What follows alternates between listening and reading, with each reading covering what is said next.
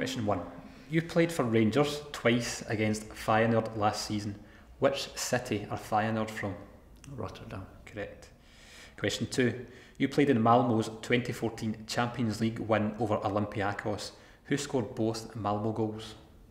Uh, Rosenberg. Correct.